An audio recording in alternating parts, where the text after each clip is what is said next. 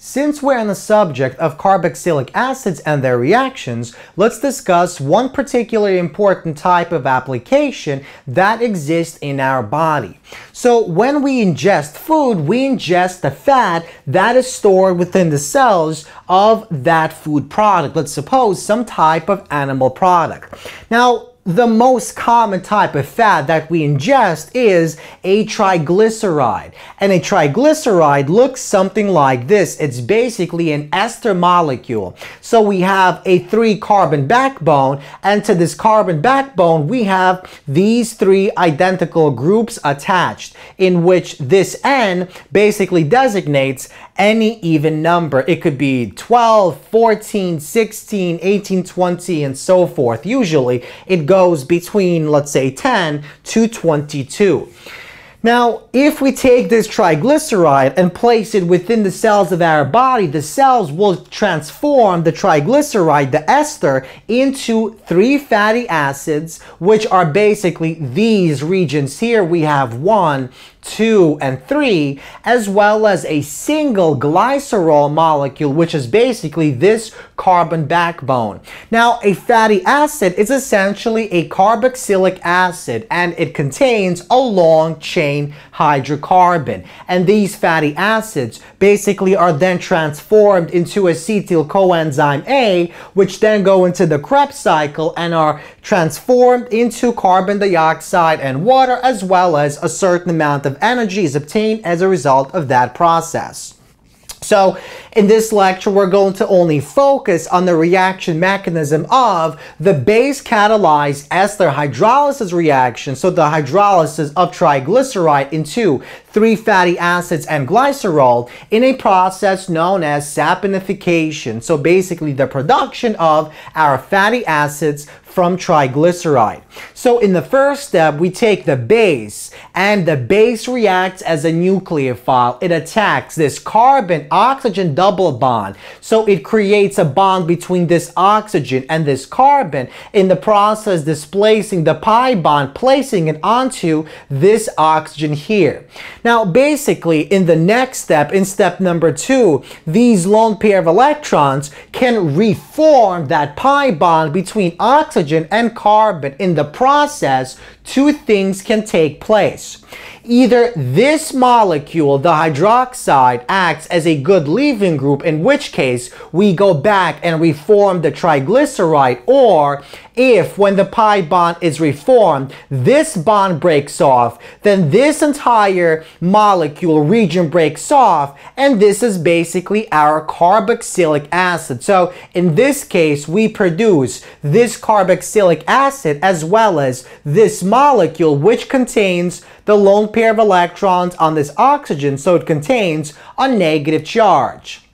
Now, notice that this molecule produced in step number two is the carboxylic acid that we call the fatty acid. So this is the first fatty acid that is produced. Remember, we produce three fatty acids per one molecule of fat of triglyceride.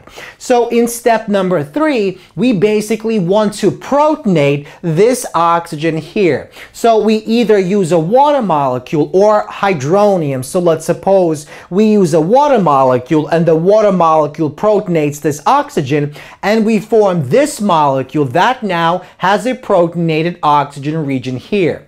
Now we take this molecule and we react it once again in the same exact identical three steps. So in step four, our hydroxide attacks this carbon nucleophilically, displacing the pi bond and placing the negative charge on this oxygen. In step number four, the pi bond is reformed. And once again, if this is kicked off, we go back here. But if this is kicked off, if this bond breaks off, then we go on to step five and produce this intermediate that now has a negative charge on this oxygen and we also produce the second fatty acid, which basically comes from this entire molecule breaking off. So this is the second carboxylic acid, aka our fatty acid.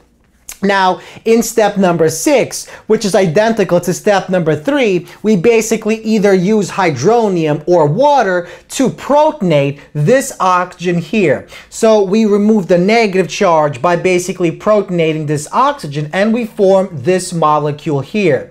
And in the next series of three steps, we repeat this step once again, except now our hydroxide attacks this carbon nucleophilically, displacing the pi bond, placing the two electrons onto this oxygen, and then this oxygen basically reforms our double bond between the oxygen carbon, and we form our third and final fatty acid, our carboxylic acid, as well as this molecule here that goes on in the final step. So we protonate this once again, either using water or hydronium, and we form this molecule, which is known the glycerol. So the glycerol is formed as well as three molecules of fatty acid when one triglyceride is hydrolyzed via the reaction known as saponification. So saponification is the production of fatty acids and triglycerol from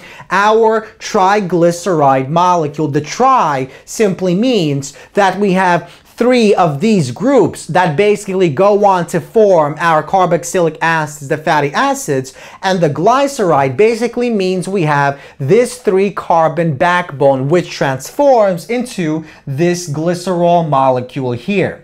So once these carboxylic acids, so we have one, two, and three, once three of these carboxylic fatty acids are formed, these fatty acids then are further broken down into acetyl coenzyme A, which is which are smaller molecules, and those are fed into the Krebs cycle. And within the Krebs cycle, they are broken down even further into carbon dioxide, water, as well as energy. So the entire purpose of taking in products into our body and using these molecules such as triglyceride and breaking them down is to basically produce energy or harvest energy, transform energy, and use that energy to basically help our body function. So we can imagine that energy is stored within the bonds of these molecules and uh, the net result when we break down these molecules into these fatty acids and eventually the acetyl coenzyme A and carbon dioxide and water from the acetyl coenzyme A,